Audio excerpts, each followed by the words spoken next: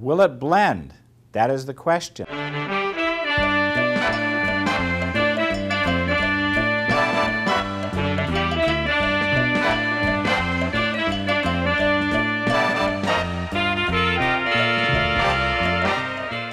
I was so excited for Justin Bieber's new movie, Never Say Never, to come out on DVD.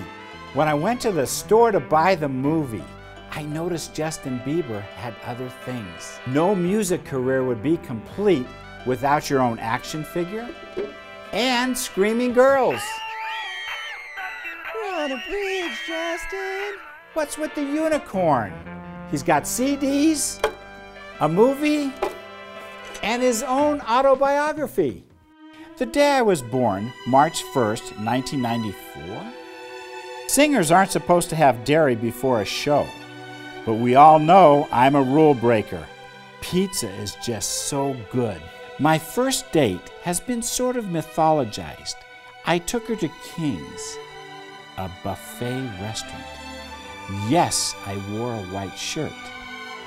Yes, I got spaghetti.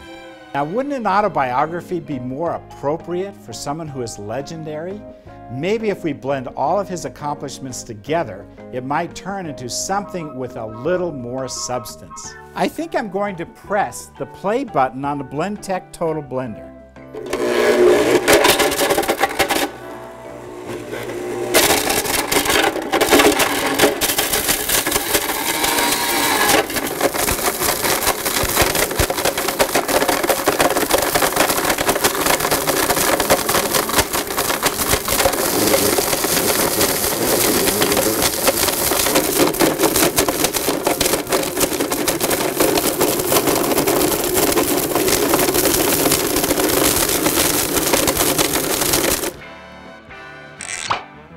Woo!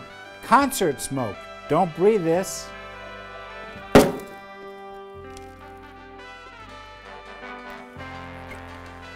Oh, look. This kid's got talent. He could be legendary. Just no more unicorns.